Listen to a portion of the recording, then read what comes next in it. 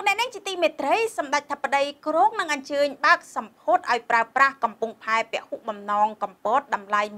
1500លានដុល្លារនៅថ្ងៃប្រហ័សទី6មិថុនា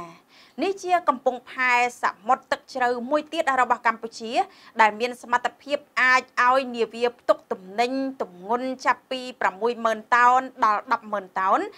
អាចចូលសម្ចតបាន កំពង់ផែពហុបំណងកំពតរបស់ក្រុមហ៊ុនកំពតផត មានទីតាំងស្ថិតនៅភូមិគីឡូ12សង្កាត់កោះតូច និងក្នុងសង្កាត់បឹងទូក ក្រុងបូកគោចម្ងាយប្រមាណ160គីឡូម៉ែត្រពីរាជធានីភ្នំពេញកំពង់ផែមានវិសាលភាពលើផ្ទៃដីគោកទំហំ207ហិកតា